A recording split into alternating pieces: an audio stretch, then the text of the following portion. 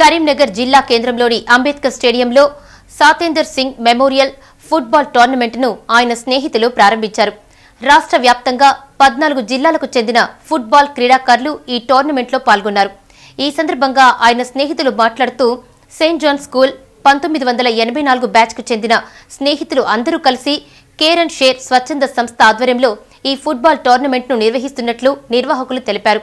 గత ఐదు సంవత్సరాల నుంచి కేర్ అండ్ షేర్ స్వచ్ఛంద సంస్థ ఆధ్వర్యంలో పలు సామాజిక కార్యక్రమాలు చేపడుతున్నామని నిర్వాహకులు తెలిపారు.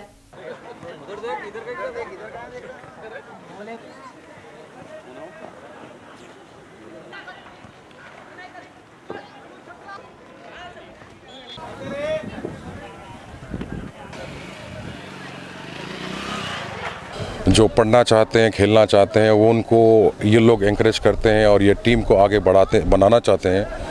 अगर कोई खेलना चाहता है स्पोर्ट का एक्टिविटी अगर कुछ करना चाहता है तो ये ये no one of these organize can help you guys और इस तरह ही हम सोच रहे हैं कि हर साल करना चाहते हैं। और आज काफ़ी खूबसूरत सा टीम खेला है। चौदह टीम के अंदर इतना टाइम निकाल कर लोग ने जो कंडक्ट किया है और बहुत ही खूबसूरत से इन्होंने गेम खेले हैं। और आगे फ्यूचर में भी ऐसे ही गेम करते रहेंगे। आप लोग सारे ज़रूर इस टीम को ज्वाइन करें।